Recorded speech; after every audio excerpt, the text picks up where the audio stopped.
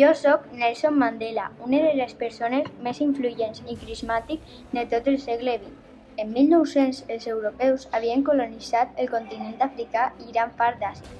Alguns països imperialistes tractaven els habitants d'aquests territoris com a esclaus, cosa que atentaven contra el dret a la llibertat. La lluita pels territoris i les matèries primeres va comportar a la Primera Guerra Mundial. Més tard, els nous governs dictatorials a Europa van començar la Segona Guerra Mundial.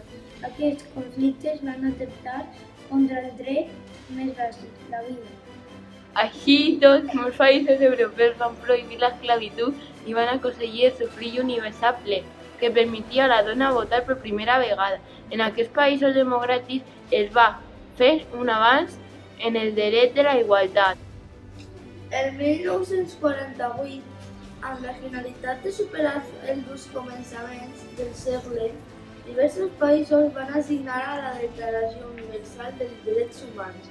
Aquest document exigia el, el respecte de la majoria dels drets de les persones, com ara la vida, la llibertat i la igualtat davant de la llei.